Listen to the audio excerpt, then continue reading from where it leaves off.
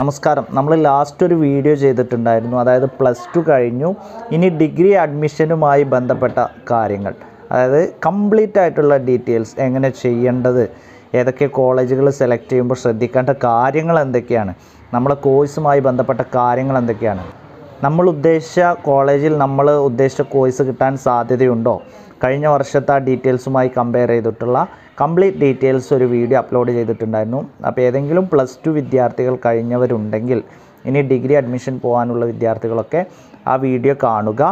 അതിന്റെ ലിങ്ക് ഞാൻ താഴത്ത് ഡിസ്ക്രിപ്ഷൻ ബോക്സിൽ കൊടുക്കും.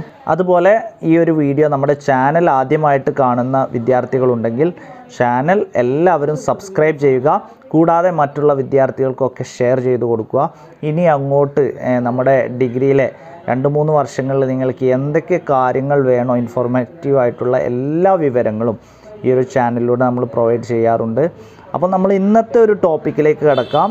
അപ്പോൾ ഇന്ന് നമ്മൾ ഉദ്ദേശിക്കുന്നത് നമ്മൾ ഡിഗ്രി അഡ്മിഷൻ എടുക്കാൻ പോകുമ്പോൾ നമുക്ക് ഒരുപാട് മിസ്റ്റേക്കുകൾ കാര്യങ്ങളൊക്കെ വരാറുണ്ട്. അപ്പോൾ അതിന് മുന്നോടിയായിട്ട് നമ്മൾ കയ്യിൽ കരുതേണ്ട ഒരുപാട് ഡോക്യുമെന്റ്സ് കാര്യങ്ങളുണ്ട്. അതിനെക്കുറിച്ചുള്ളതാണ്. നമുക്കറിയാവുന്ന പോലെ തന്നെ നമ്മുടെ S S L C certificate ആയിക്കോട്ടെ പ്ലസ് ടു സർട്ടിഫിക്കറ്റ് അതുപോലെ തന്നെ നമ്മളെ ടി സി ചിലപ്പോൾ ബർത്ത് സർട്ടിഫിക്കറ്റ് ഈ കാര്യങ്ങളൊക്കെ നമ്മുടെ കയ്യിൽ കറക്റ്റായിട്ട് ഉണ്ടാവുന്നത് നല്ലതാണ്. നമ്മുടെ ആധാർ ഇതുപോലെയുള്ള കാര്യങ്ങളൊക്കെ നമ്മുടെ കയ്യിൽ എപ്പോഴും കരുതിയിരിക്കണം. ഓക്കെ ആണല്ലോ അത് ചിലപ്പം ആവശ്യമായിട്ട് വരും ചില സംഭവങ്ങൾ. ചിലപ്പം ആവശ്യമില്ലെങ്കിൽ കൂടി നമ്മൾ അതെപ്പോഴും കരുതുന്നത് നല്ലതായിരിക്കും. അതുപോലെ തന്നെ നമ്മുടെ റേഷൻ കാർഡിന്റെ കോപ്പി കാര്യങ്ങളൊക്കെ കയ്യിൽ കരുതുന്നത് നല്ലതാണ്. കൂടാതെ എപ്പോഴും പലപ്പോഴും വിട്ടു പോകുന്നൊരു സംഭവമുണ്ട്. രണ്ട് മൂന്നാൽ ഫോട്ടോ നമ്മളെപ്പോഴും കരുതുന്നത് നല്ലതാണ്. ചിലപ്പോൾ അഡ്മിഷന്റെ ടൈമിലൊക്കെ ഒരുപാട് ആവശ്യമായിട്ട് വരും. അപ്പോൾ ആ ഒരു ടൈമിൽ നമ്മൾ അങ്ങോട്ടും ഇങ്ങോട്ടൊക്കെ ഓടിയിട്ട് ചിലപ്പോൾ ഈ ഒരു കോവിഡ് സിറ്റുവേഷൻ പോലെയുള്ള സിറ്റുവേഷൻസ് ഒക്കെ ആണെങ്കിൽ ചിലപ്പോൾ കടകളും കാര്യങ്ങളൊക്കെ തുറന്നിട്ടില്ലെങ്കിൽ അതൊരു വലിയ പ്രയാസം തന്നെയായിരിക്കും. അപ്പോൾ ആ കാര്യം കൂടി നമ്മൾ എന്ത് ചെയ്യണം? കയ്യിൽ കരുതുന്നത് നല്ലതാണ്. കൂടാതെ കുറച്ച് സർട്ടിഫിക്കറ്റ്സ് കാര്യങ്ങൾ നമ്മൾ കയ്യിൽ കരുതണം. നമ്മുടെ അക്ഷയ വഴി അപ്ലൈ ചെയ്ത് വില്ലേജ് ഓഫീസ് വഴിയൊക്കെ കിട്ടുന്ന കുറച്ച് സർട്ടിഫിക്കറ്റ്സ് കയ്യിൽ നമ്മൾ കരുതണം. അതിലൊന്നാണ് നമ്മുടെ ഇൻകം സർട്ടിഫിക്കറ്റ് അതുപോലെ തന്നെ nativity certificate community certificate non creamy layer certificates ഈ കാര്യങ്ങൾ എന്തായാലും നമ്മൾ എന്ത് ചെയ്യണം? കയ്യിൽ കരുതണം. അതിൽ പ്രത്യേകം ശ്രദ്ധിക്കേണ്ട നമ്മൾ ചിലപ്പോൾ ടെൻത്തൊക്കെ കഴിഞ്ഞിട്ട് ചില ആളുകൾ നോൺ ക്രിമിനൽ സർട്ടിഫിക്കറ്റ് ഒക്കെ എടുത്തിട്ടുണ്ടാവും. അപ്പോൾ ഇനി വേണ്ട എന്നൊക്കെ കരുതി നിൽക്കുന്ന കുറച്ച് ആളുകളുണ്ടാവും. അത് തെറ്റായ ധാരണയാണ്. നോൺ ക്രിമിനൽ സർട്ടിഫിക്കറ്റിന്റെ കാലാവധി എന്ന് പറഞ്ഞത് വൺ ഇയർ മാത്രമാണ് അപ്പോൾ അത് കഴിഞ്ഞ് വീണ്ടും അത് നമുക്ക് പുതുക്കേണ്ടി വരും.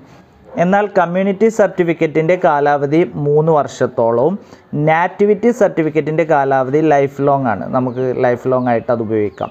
അപ്പോൾ ആ കാര്യം പ്രത്യേകം ശ്രദ്ധിക്കണം. നോൺ ക്രിമിനൽ സർട്ടിഫിക്കറ്റിന്റെ കാലാവധി വൺ ഇയർ ആണ്. ചില ആളുകൾ ഒരുപാട് ആളുകൾക്ക് അങ്ങനെ അബദ്ധം പറ്റാറുണ്ട് എന്നുള്ളതാണ് വസ്തുതാപരമായിട്ടുള്ളൊരു കാര്യം.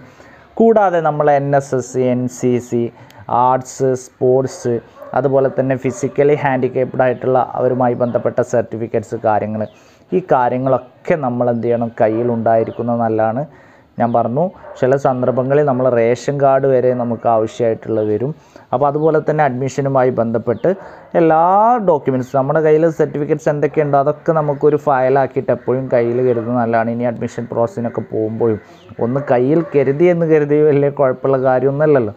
അപ്പോൾ ആ കാര്യങ്ങൾ നിങ്ങൾ പ്രത്യേകം ശ്രദ്ധിക്കാം അപ്പോൾ ഞാൻ പറഞ്ഞു അഡ്മിഷനുമായി ബന്ധപ്പെട്ടും ഇനി അങ്ങോട്ടുള്ള first year second year third year ഈ കാലഘട്ടത്തിലൊക്കെ നിങ്ങൾക്ക് ആവശ്യമായിട്ടുള്ള ടിപ്സും കാര്യങ്ങളൊക്കെ നമ്മുടെ ഈ ഒരു ചാനലിലൂടെ പ്രൊവൈഡ് ചെയ്യാറുണ്ട്.